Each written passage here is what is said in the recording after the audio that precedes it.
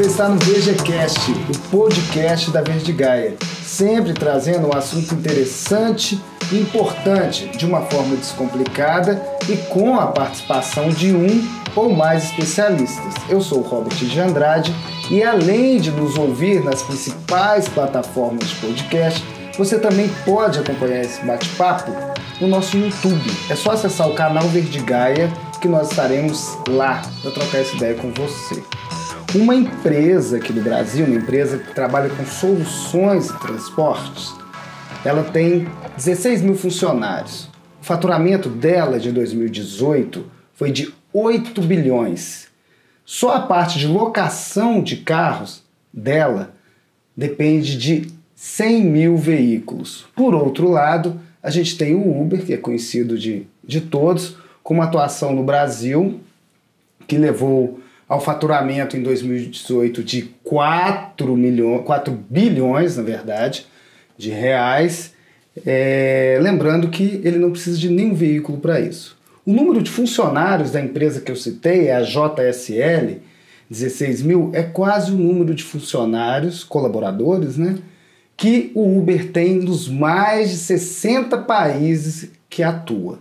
O assunto de hoje é a tecnologia virou o negócio. E para falar sobre isso, o especialista de hoje é o Rafael Petronilho. A gente brigou um pouco mais cedo porque eu não estava conseguindo pronunciar o nome dele. Eu ia falar Petruc, mas eu aprendi, decorei. Se apresente, Rafael. Eu só ia participar se ele acertasse o nome, né? Então acertou. Então, é, Roger já falou, sou Rafael Petronini, né, eu sou o gerente da área de tecnologia é, da Verde Gaia, estou aqui como o gerente da área de tecnologia e trabalho há mais de 16 anos na, na área de desenvolvimento de sistemas né, e consultoria de tecnologia.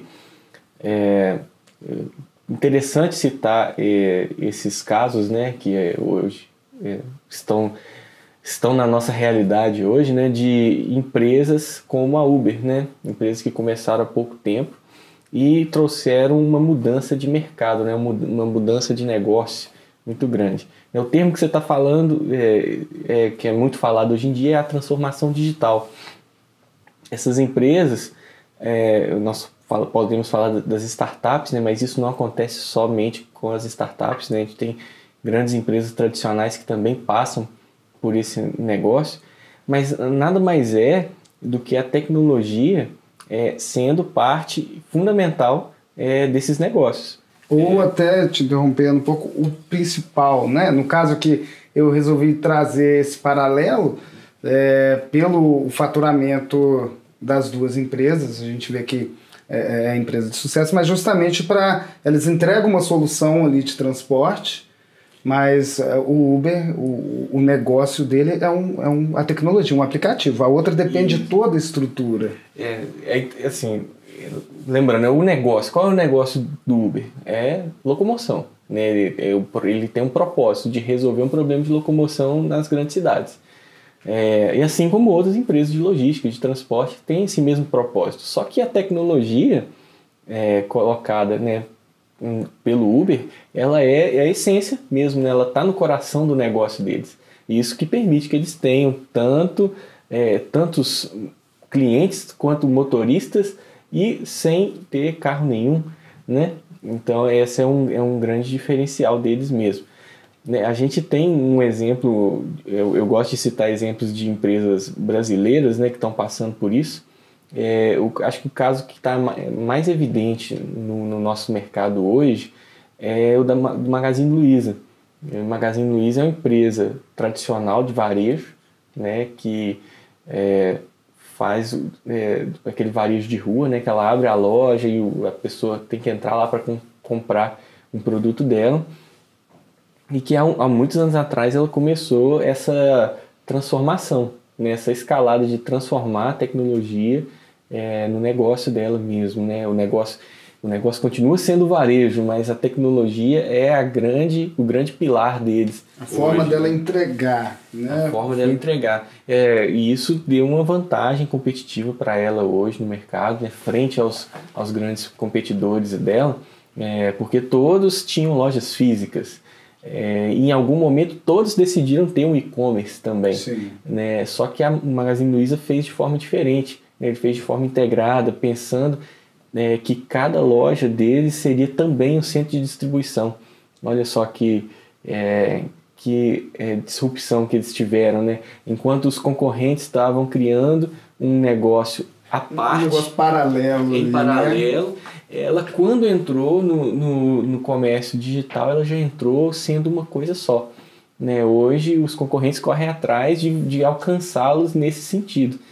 É, e tudo isso só foi possível com, com a questão de né, uma estratégia de tecnologia também muito, é, muito é, conectada com o negócio. É um ótimo exemplo porque a gente tem aquele, aquela coisa de achar que é, a tecnologia como um elemento central ali de, um, de uma empresa estão só nas startups. Pertence só à ideia das startups. Agora, se pegar uma empresa, né, que uma empresa de um, com um modelo de negócio tradicional e ela conseguir fazer essa mudança, eu acredito que ela teve que desfazer muita coisa ali, né? Não deu só para acrescentar a tecnologia, mas ela teve que mudar todo o modo de, de fazer o negócio. Sim. É, eu, eu, eu gosto de citar alguns livros, é, até para a gente. é, que esse é, que o assunto do, do podcast ele depois ele vire um, um motivo de estudo né, dos nossos ouvintes.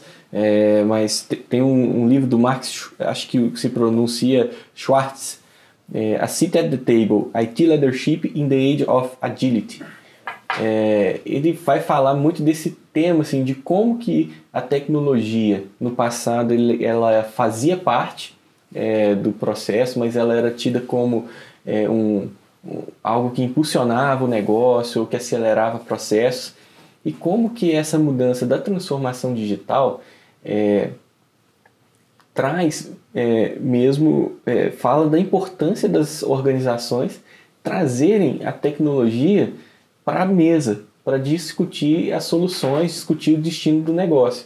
É, o futuro do negócio, por exemplo, a, a maioria das organizações, é, as decisões são tomadas pelo diretor executivo, pelo diretor financeiro, é, e a TI, no final, ela é comunicada, né, a área de tecnologia, ela é comunicada do que ela tem que fazer depois daquela, da decisão tomada. Os últimos a saberem. É, elas são pegos de surpresa normalmente. É, então essa transformação digital ela fala muito é, do envolvimento é, de todos é, de todos os processos fundamentais, né? E também a mudança de mindset. É, então eu vou falar também um pouquinho da Verdigaia nesse sentido, né? Mas o que é o mindset dessa transformação digital? É, é engraçado, né? O nome é digital, mas Sim. a essência ela está focada em pessoas. Né? O que, que, que, é a o que, que é a essência do digital? Ele é falar que o, o foco do seu negócio é o cliente e também é, que o foco do seu negócio são as pessoas Sim. né, que, que você né, que estão trabalhando no seu negócio. Então ela é focada em pessoas. É uma transformação digital, mas que na verdade ela usa as pessoas para impulsionar. Né? Então, se eu tentar entender aqui, é, te interrompendo mais uma vez, eu vou te interromper o tempo todo. Vou aproveitar e vou tirar meu relógio, porque a gente tem uma mesa de vidro aqui que toda hora eu tô batendo nela, senão vocês vão ficar ouvindo aí. É, então, é, você colocou o, o ser humano aí, né, como, como principal agente. Você acha que é uma forma de ouvir mais o cliente? É uma, você conseguiu se aproximar mais, em vez de distanciar, o que alguns dizem? A, a tecnologia está aproximando, você está compreendendo melhor o seu cliente? É, vou, até vamos falar um pouquinho da, da Verdigaia, né? É, essa transformação ela tem que acontecer em todas as organizações, né? É, a gente fala do... é, é, talvez a gente tenha um... um a- as empresas têm essa, essa questão muito tradicional, né? Assim, ah, cara, eu faço isso há 10 anos, faço isso há 15 anos. É dessa forma que eu cheguei onde eu estou. É, mas só que isso não quer dizer que se ela continuar fazendo isso, ela vai estar aqui daqui a 10 anos. Né? Então pode ser que daqui a 10 anos o negócio dela não exista mais.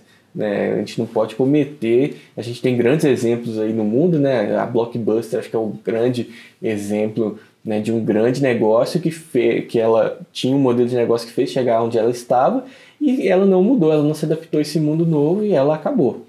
Né? Então é, é, a gente tem que aprender essas lições. E trazendo para a realidade da Verdigaia, né, uma empresa de médio porte que trabalha com é, mais de 2 mil clientes no Brasil é, e fora também, né? É, essa transformação ela veio muito mudando o nosso mindset lá é, três anos atrás, mais ou menos, que, cara, o nosso trabalho, ele, ele, é, é uma consultoria especializada, é, mas só que a gente tem que entregar algo que seja realmente valor para o nosso cliente. É, e a comunicação, né, a gente receber o feedback do nosso cliente é fundamental nesse processo, porque senão eu estou dando um tiro no escuro. Né? Eu preciso saber se eu realmente acertei o alvo quando eu dei aquele tiro, né? E nós vamos saber isso é, ouvindo, né? Tenho que ter um canal aberto de comunicação com os nossos clientes. Então, coisa que não tinha é, esses três anos atrás era a gente ter uma pesquisa de NPS, né, de satisfação, a gente ter uma é, medir, acompanhar o churn, né, que são a nossa taxa de cancelamento de clientes, acompanhar ela mais de perto, para que quando a gente tenta antecipar ao máximo as insatisfações do cliente, para que ele não chegue ao ponto de cancelar. É, por que, que eu estou falando de cancelar? Né? Talvez quem está ouvindo a gente não entendeu essa parte, mas a Verdigai é uma empresa de consultoria essencialmente, Sim. mas que ela entrega o serviço, né? a gente entrega valor para o nosso cliente através de uma plataforma de software. Né? O SOG, é, o VG Resíduos, o Consultoria Online, nós temos várias plataformas que é através dela que o, o valor do nosso serviço chega para o nosso cliente. Então, o nosso modelo de negócio é o de software as a service, principalmente, né? o, o principal modelo de negócio da empresa, além das consultorias presenciais, auditorias e tudo mais. Mas o, o negócio principal da empresa é esse. Então a gente trabalha muito com relacionamento. Nós temos relações de longo prazo aqui, né? É, a gente tem clientes há mais de 19 anos que estão com a gente. Então essa, é, essa preocupação em, em, ser, é, em ouvir o nosso cliente, né? permitir o nosso cliente ser ouvido dentro da organização, é fundamental nessa transformação. E não só do ponto de vista do cliente, mas também do nosso colaborador, porque a gente também tem que abrir esse canal para que a gente melhore os nossos processos, é, a gente, é, talvez a, a, forma que ele, né, que algum colaborador enxerga é, que deveria ser feito, né, é, não é a maneira que a empresa vem fazendo nos últimos 20 anos e essa, e essa forma que ele enxerga é realmente que vai nos vai mudar a entrega de valor para o nosso cliente. E né? a tecnologia ela, ela te dá de certa forma ela te ajuda a medir essa mudança, você consegue identificar assim e é, a tecnologia ela muitas vezes ela permite né eu não, não diria só medir mas é ela realmente permitir que isso seja feito né há muitos anos atrás a gente não tinha nem se a gente quisesse a gente conseguiria medir esse tipo é, de, é, de, de satisfação né então ela viabiliza esse processo é... Parece muito fácil quando a gente fala, né? principalmente você que é especialista falando. Fácil, basta a empresa investir, vou investir mais em tecnologia que resolveu, é sucesso total. Mas na verdade a gente, a gente tende a falar sempre daquilo que deu certo. No meio do caminho, né? imagino que alguns problemas sempre aparecem, principalmente quando a gente fala de tecnologia. Tecnologia, né, ela principalmente hoje, muda muito rápido e ela vai afetar, de certa forma, algumas coisas tradicionais, algum jeito de fazer, como foi o e-mail para o selo, né? Pra o, uhum. que acabou com, com as cartas. Você tem o caso do, do, da faixa azul, que agora você usa o aplicativo, o flanelinha vai ficar incomodado, ele não pode vender mais, o cara da banca, porque de certa forma não, não acompanharam aquilo ali. Quais foram assim, os obstáculos nessa mudança de mindset né, da, da empresa? Que, que vocês enfrentaram de dificuldade? É, eu acho que o, o principal mindset que, a, que as empresas é, tradicionais enfrentam é, é, de acharem que já sabem de tudo. É, ou de sabem como o mercado se comporta, porque elas já estão estabelecidas no mercado há muito tempo. É, então, junto com essa transformação, tem que, tem que ter uma mudança de mindset de, é, de realmente de se permitir ao novo, né? de experimentação, que a gente chama, né? de validação de hipóteses. É, é, por exemplo, o Uber, quando começou, ele fez esse processo de validação de hipótese, cara. Assim, cara, eu acho que se eu criar um aplicativo é, que eu comunique um motorista normal com alguém que está precisando de uma carona, né, que é baseado nisso que é o, que é o Uber, é, é, ele, isso, isso, pode funcionar. É, então ele, ele, lá atrás ele partiu dessa hipótese e ele só chegou onde ele está hoje porque ele se permitiu experimentar é, fazer essas mudanças. É, então no, no mindset onde o, a tecnologia é o negócio também, ela tem que ser é, a experimentação tem que fazer parte do dia a dia. Então a gente tem que entender que a gente não sabe de tudo. E ela é transformadora, né? É, nos modelos de negócio tradicionais, uma montadora de veículos, né? O que o objetivo dela é entregar um carro montado. Depois que você termina o carro, ele ainda vai para teste, ainda fica uns dois anos, né? Rodando para depois ele para venda. Acaba que quando você compra ainda costuma acontecer algum recall ali de você tem que voltar com o carro.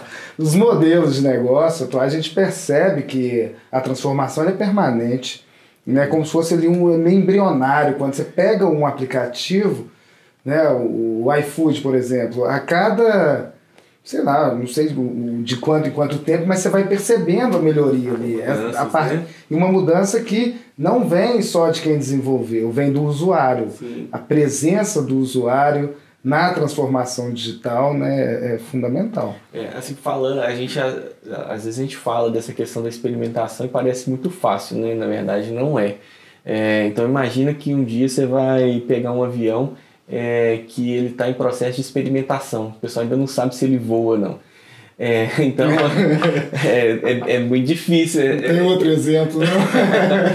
Eu peguei um exemplo que é, realmente não é todo negócio que vai ser fácil Sim. fazer essa experimentação. Então a gente tem o, é, esse caso mesmo da, é, da, da, montadora, né? É, é um caso muito difícil né, da gente fazer Sim. experimentação. Mas o, você vê as montadoras experimentando hoje em áreas não críticas. Por exemplo, você já vê um carro com serviço de atendimento online no próprio carro. Né? No Brasil a gente já tem, a gente tem é, carros com inteligência artificial, onde você acessa é, o manual do carro, é, tem, você tem uma inteligência artificial que te dá suporte naquele carro. É, então, assim, é, é, a transformação ela tem que acontecer. Eu acho que cada negócio vai, vai ser de uma forma, Sim. É, e, mas em, alguma, em algumas áreas a gente teria, tem mais liberdade. Sim, mas no caso, as próprias empresas que já têm um modelo tradicional já estão criando suas startups ali, né? Um modelo paralelo atuando junto com, com esse modelo tradicional. Isso, tem, é, essa, é, tem esses casos de, de empresas criando startups, né? E tem casos, como a gente já citou aqui da Magazine Luiza, que eles decidiram, eles decidiram não criar uma startup, cara. Eles transformaram o negócio como um todo. É, então, assim, é, tem muita tecnologia hoje em dia que permite essa transformação acontecer. É, eu, eu, acho que como na nossa empresa ela tem que acontecer dentro é, também. Né? a gente tem é, tecnologias que a gente coloca em prática hoje que tão, estão transformando o nosso negócio, que em breve vai chegar um resultado muito bacana para os nossos clientes, é, que são, que, por exemplo, os, as RPAs, né, que são os Robotic Process Automation. É, então, muito do que a gente faz hoje no dia, no dia a dia são tarefas repetitivas e a gente tem soluções de, de automatização de tarefas é, que permitem a gente transformar mesmo o modo de trabalhar, porque esse trabalho repetitivo, maçante, ele vai deixar de ser feito por uma pessoa, pode ser feito por, uma, por um processo né, computador, computacional. E a gente tem também inteligência artificial, é, que a gente já está usando né, internamente, é, para também permitir né, que é, a gente faça um trabalho muito mais intelectual né, e os trabalhos repetitivos sejam feitos por esse computador. É, a, a questão da inteligência artificial é um assunto que está bem, bem latente aí, bem em voga. Acho que todo mundo, né? Primeiro você tem essa, esse deslumbramento assim, né, com, com a questão da inteligência artificial e um certo receio, né? A gente tem casos que deram super certo e por outro lado algum, algumas falhas, como aconteceu com dois chatbots da China que se revoltaram contra o Partido Comunista e foram desligados, né? Tem um caso de um robô também de inteligência artificial que foi desenvolvido para conversar com adolescentes, acho que é da Microsoft, né, na, é, nas redes sociais. E em 24 horas também ele foi, foi tirado do ar porque ele se tornou racista. Né? É, tem também o medo aí quando a gente fala de uma revolução. Eles estão chamando da quarta revolução industrial. Né? Na primeira revolução industrial a gente viu a máquina o medo era de que a máquina substituísse o homem. Eu acho que para substituísse num todo. Algumas atividades eu acredito que. Acredito não, substituiu sim, mas por outro lado criou uma nova demanda. Uhum. Né? Você precisa de alguém para operar aquela máquina, você fortaleceu as engenharias. E, nessa quarta revolução né, industrial, que a gente tem aí a inteligência artificial, é, você acha que vai chegar um momento que ela vai substituir o homem 100% ou ela vai criar novas demandas como aconteceu lá atrás? É, é um assunto bem atual nessa né, essa questão da é, regulação né, da, da inteligência artificial. Né? Eu, eu, se não me engano, eu li essa semana um artigo sobre o Google é, abrindo espaço para conversar sobre regulação é, de, da, da, dos serviços de serviços cognitivos, né? Porque aconteceu esses casos de, é, de bots que aprenderam coisas indesejadas, né? É, então o Google já está começando né, até a abrir esse canal de comunicação com governos, né? Para existir uma regulamentação nesse sentido. Ele era resistente, né? Assim, pelo menos é, o que eu tenho acompanhado por medo de achar que ia, ia frear o desenvolvimento. Frear o desenvolvimento. É, eu acho que é, é no bom, né, no mais é, mo, melhor modelo ágil possível, né, é na base da experimentação. Essa era a posição dele antes dele ter uma experiência de mercado real. Ele Sim. viu que isso no mercado se comportou de forma diferente, de forma não esperada. Então eles já mudaram é, o posicionamento deles com base nisso, o mais correto mesmo, né? Mas né, nesse sentido, você falou assim, ah, vai substituir é, o ser humano? Vai em muitos casos. Né? A inteligência artificial, sim, ela vai substituir muitos trabalhos repetitivos. É, até para quem está ouvindo a gente para achar que é um é, que nós estamos falando de algo muito futurista, né? Deixa eu tentar explicar o que, que é um pouco é, um pouquinho da base da inteligência artificial, né?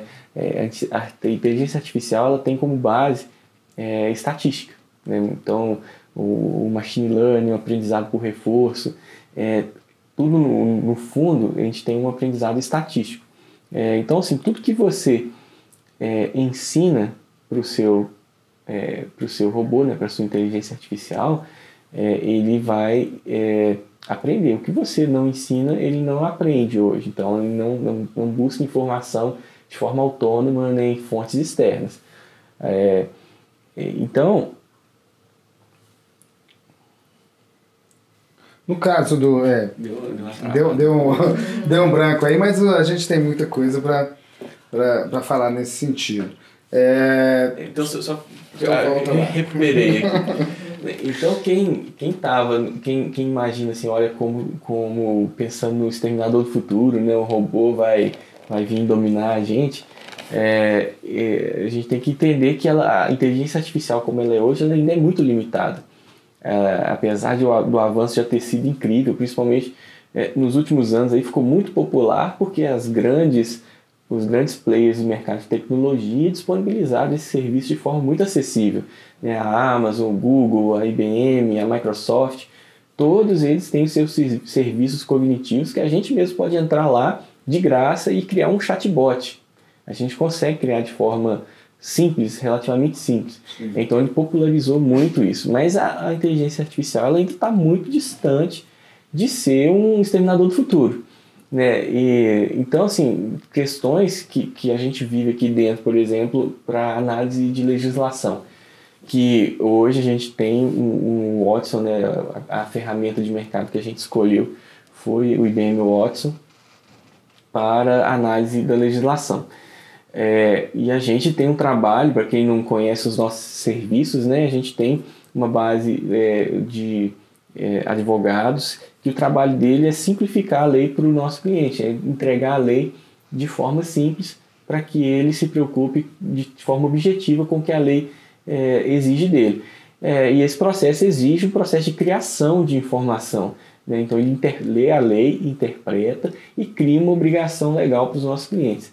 É, então a discussão muito no nosso projeto, nós discutimos muito sobre, cara, eu quero que o Watson crie as obrigações de forma autônoma. É, então assim, é, é algo que a gente ainda esbarra em limitação hoje com as tecnologias que a gente tem é, disponíveis no mercado, né, ainda é uma limitação essa parte de criação. É, o, existe um, um, estudo acadêmico forte nessa área né, do, da inteligência artificial ser capaz de produzir conteúdo novo, é, totalmente novo, né, a partir de, do que ela conhece, mas ainda é algo que é para nós, né, usando as ferramentas de mercado que a gente tem, ainda não chegou para a gente. É, então a gente ainda tem um caminho muito grande a trilhar na inteligência artificial até ela chegar no nível do que a gente vê nos filmes. Mas já está lendo né, no caso, o, o Watson ele já está lendo e já está. Lendo e interpretando. Interpretando. Sim, classificando informações dentro de uma lei.